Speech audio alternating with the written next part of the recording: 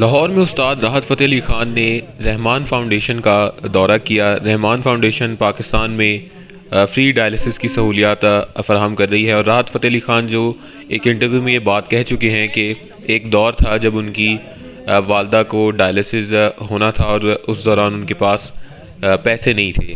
तो आज राहत फ़तेह अली ख़ान ने रहमान फाउंडेशन का विज़िट किया है और इस मौका पर राहत फ़तेह अली ख़ान ने दस लाख रुपए इमदाद का ऐलान भी किया और साथ ही साथ एक बड़ा ऐलान रहमान फाउंडेशन के लिए ये भी किया कि जहाँ कहीं भी चैरिटी के लिए रहमान फाउंडेशन उन्हें बुलाएगी, वो फ्री ऑफ़ कॉस्ट कॉन्सर्ट करेंगे।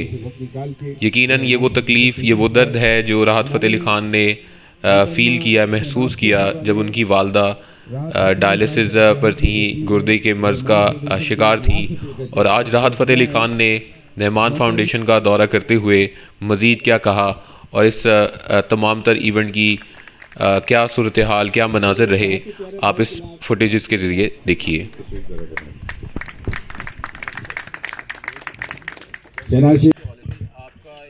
अच्छा ऐसा ऐसा है कि मैं जो जहाँ खड़ा हूँ ना तो मैं यहाँ बैठ जाता हूँ फिर आप सवाल कर लीजिए।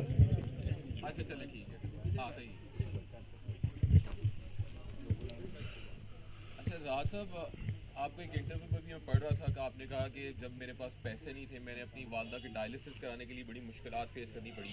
तो आपका नाम है, लोग आपको सुनते हैं, पसंद करते हैं।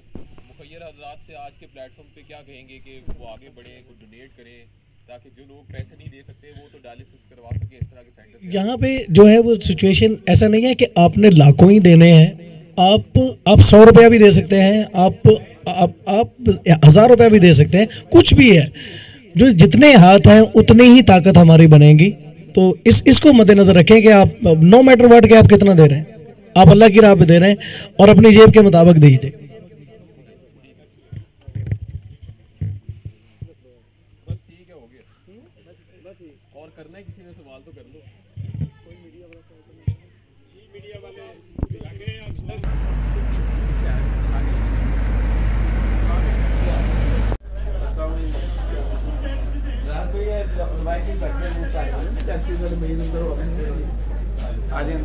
आपके हाथों से ये नई मशीनें जो है।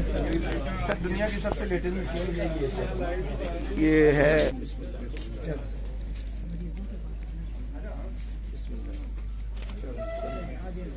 दुआ कर लीजिए।